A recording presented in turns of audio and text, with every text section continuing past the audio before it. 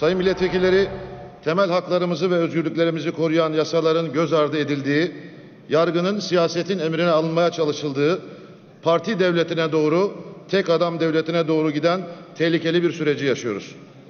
Türkiye bugün Cumhuriyet tarihinin hiçbir döneminde yaşamadığı krizlerle karşı karşıya. Bu krizlerin odağında şimdi yargı kurumları var. Bunun altında yargıya özgü nedenlerden çok siyasete özgü nedenler yatmaktadır.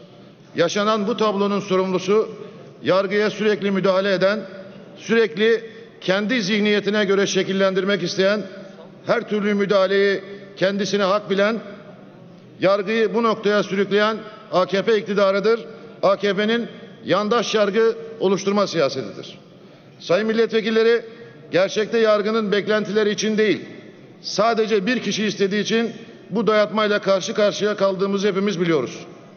Görüyoruz ki milletin meclisi başkanlık hayalleri kuran bir kişi tarafından saray tahakkümü altına alınmış durumda.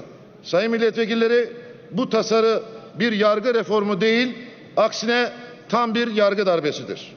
Bu tasarıyla mevcut Danıştay ve Yargıtay üyelerinin tamamının görevi sıfırlanacak. Yani yüksek yargı sıfırlanacak. Bu tasarı kanunlaşınca Sayın Cumhurbaşkanı jet hızıyla onaylayacak ve 5 gün içinde bizzat kendisinin belirlediği yeni üyeleri atayacak. Kanun tasarısını getiren iktidar mensupları da çok iyi biliyor ki bu tasarı da anayasaya açıkça aykırı. Ama görüyoruz ki iktidar olsun mahkeme karar verene kadar ben atamaları yaparım. Anayasa Mahkemesi kararları geriye yürümediği için de atananlar yerinde kalır kurnazlığı içinde. Anayasa Mahkemesi'ne gidildiğinde ise mahkeme beş gün içinde karar veremeyeceği için maalesef Yargıtay'a ve Danıştay'a atanacak yandaş üyeler görevlerine devam edecek ve ne yazık sonra da onlardan adalet dağıtmasını bekleyeceğiz. Son olarak tasarının anayasaya açıkça aykırı olduğunu ifade ediyor.